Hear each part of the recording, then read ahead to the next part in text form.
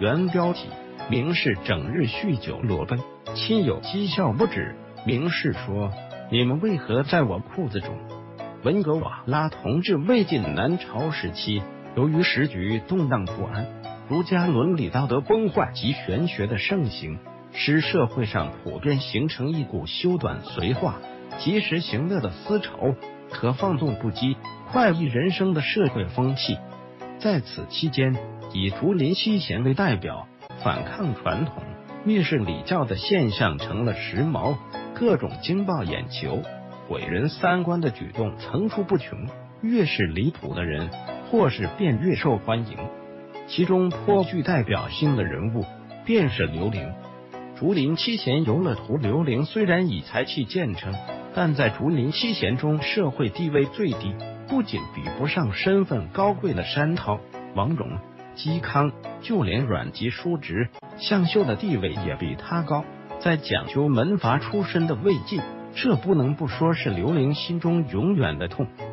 不仅如此，刘伶身高只有六尺，不到今天的一点五米，而且容貌丑陋，沉默寡言，是个名副其实的穷丑错。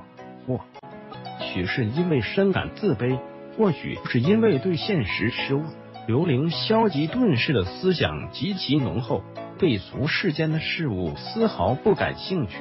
每日里做的最多的事情，便是酗酒狂欢。虽然竹林七贤都以放任不羁、纵酒狂欢著称，但就酒量、对酒精的依赖度而论，没有人能够超过刘伶的。竹林七贤之一的嵇康，在人生绝大部分岁月中，刘伶都是在豪饮沉睡中度过的。更令人感到不可思议的是，刘伶不仅在家里面豪饮。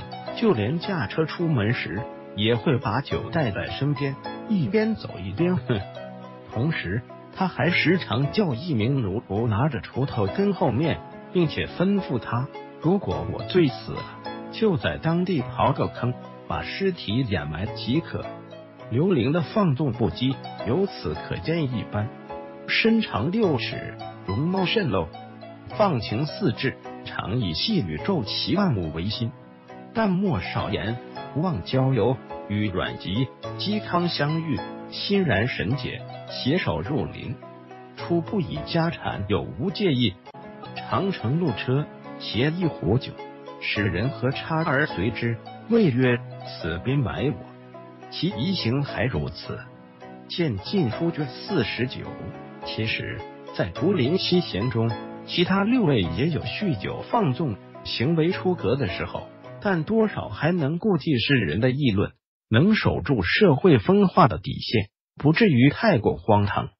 然而刘伶却完全没有这些顾忌，彻底的狂欢放纵，只要自己活得洒脱适意就行，丝毫不会去考虑外人的看法。最能体现刘伶这个特点的，便是他喜欢醉酒后裸奔。刘伶的人生都是在豪饮沉睡中度过的。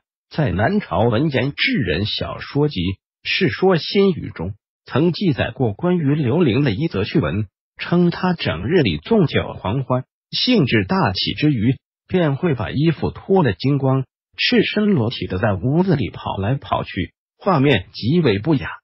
有宾客见到这一幕后，便讥笑刘伶，称这样做有伤风化，跟不开化的野人没甚区别。没想到。刘玲听后，并没有感觉羞耻，而是反唇相讥道：“我把天地当成房子，把房屋当成裤子，哪里有赤身露体了？反倒是你们这些人真是奇怪，干嘛没事钻到我的裤裆里面来了？”众人听后羞愤不已，但想到刘玲就是个疯子，也就懒得再跟他辩白。刘伶横纵酒放达，或脱衣裸行在屋中。人见讥之。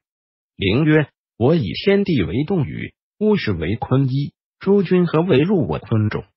见史说心与人淡，刘伶不仅嗜酒如命，还喜欢裸奔。这样一位嗜酒如命、行为荒唐的穷臭矬，要想在政坛上有一番作为，无异于痴人说梦。果不其然，尽管山涛、王戎都官至宰相，而且也想着提拔刘伶。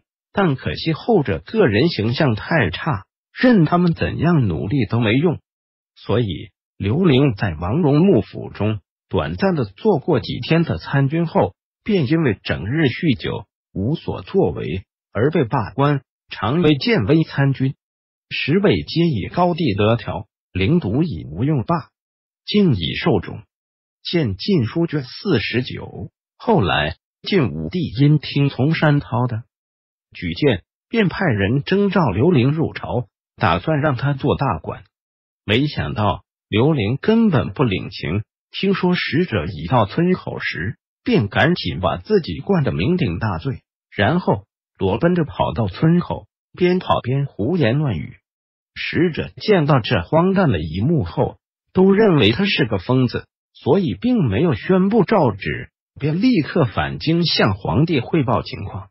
武帝听后很无奈，就此打消任用刘伶的想法。晋武帝司马炎画像多年后，刘伶病死于家中，享受情况不明。一说死于公元三百年前后，活了八十岁。虽然刘伶一生中既没有身居要职，没有建功立业，甚至没有高尚的德行，但作为极具传奇色彩的人物。他在后世还是受到很多人的追捧，原因无他，是希望自己也能像他一样放纵不羁罢了。史料来源：《晋书·世说新语》，返回搜狐查看更多。责任编辑。